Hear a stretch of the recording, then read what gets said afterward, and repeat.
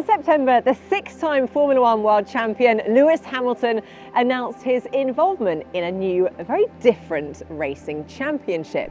It's off-road, it's electric, and it strives to do its bit to save the planet. Is this all sounding a little too good to be true, perhaps?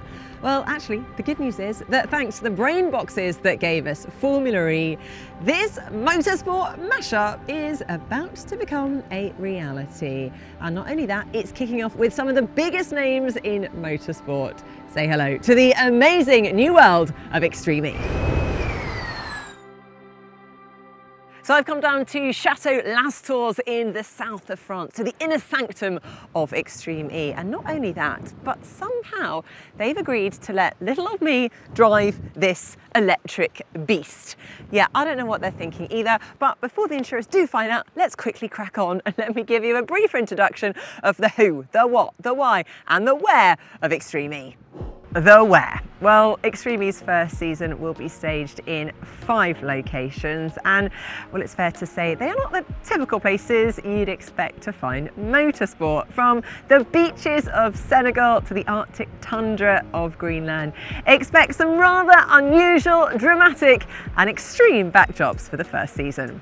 So now the what? Extreme E is an off-roading racing series that pits a bunch of all-electric 550 brake horsepower SUVs like this one against each other around two laps of a five mile course. And well, if that doesn't sound different enough for you, each team consists of a female and a male driver who have to swap after just one lap. The racing is set to be very different to Formula One. However, Lewis Hamilton will be facing a familiar foe. The 2016 F1 champ Nico Rosberg has just announced that he'll be launching a team of his own. And finally, we come to the why, which is perhaps the most important part of all.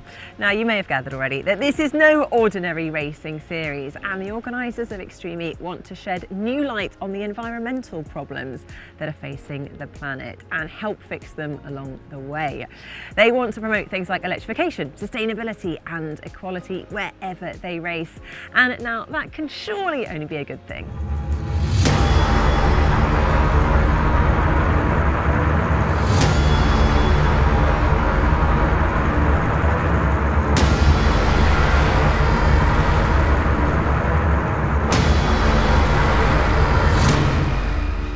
Well, before I hit the track and terrify the engineers, I thought I should hit you with some big numbers. This beast has 550 brake horsepower in its motor. It does 0 to 60 in just over 4 seconds and it can climb gradients of over 130 degrees.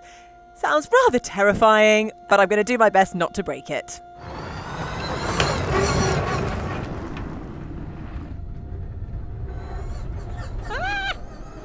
This is incredible because you get that instant acceleration from the electric engine and then the brakes are just incredible, instantly slowing you down and with the, those huge tyres, they just keep you gripped onto the, woo, the surface. I just hit a massive puddle, woohoo! But the instant acceleration from the electric motor is just mind blowing. You know, 550 brake horsepower. Woo! Oh, I'm very jealous of the guys that get to do this as a racing profession. This can't be a job. Surely people don't get paid to have this much fun. Oh well, if the Extreme E teams need a female driver, I can think of one. She might not be very good though. Ah. Woohoo! Can't imagine doing this, you know, in gradients of up to 130 degrees. I mean, that's going to be crazy. This is so cool. I mean, the fact that Extreme E have nailed this car in really a very short space of time is just an amazing achievement. And I think it's just a show of what they're going to go on to achieve. And I would love to see Lewis Hamilton behind the wheel of one of these, which I'm sure he will very soon. I can't imagine what it will be like going to places like, you know, the beaches of Senegal to Greenland to the Amazon rainforest.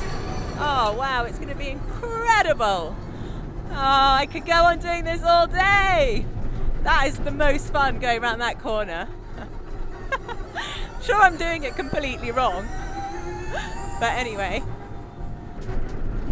Unbelievable. Oh. Well, that was absolutely mega. I mean, with its environmental credentials and a car like this, I think it's fair to say I can't resist another drive.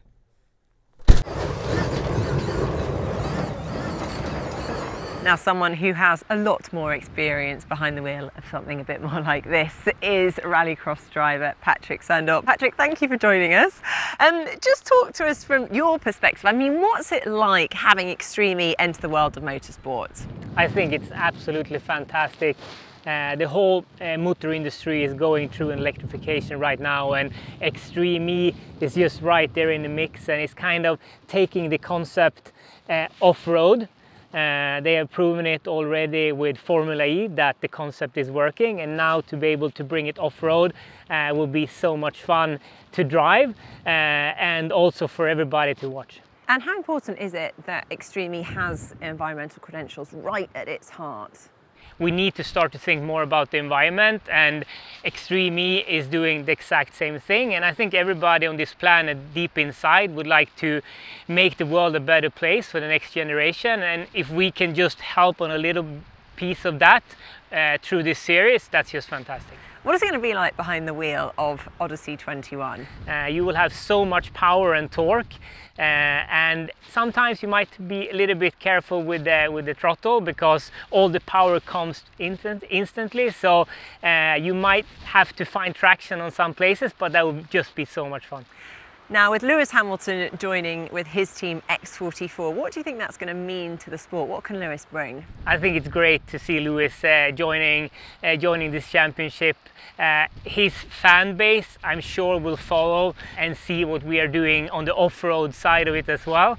And hopefully, we can see Lewis in a car at some point. Brilliant, Patrick. Thank you so much, and uh, enjoy driving this electric I'm, mega beast. I'm so excited to get behind the wheel. I'm sure you are. Don't forget to subscribe. We have loads of electrifying videos heading this way.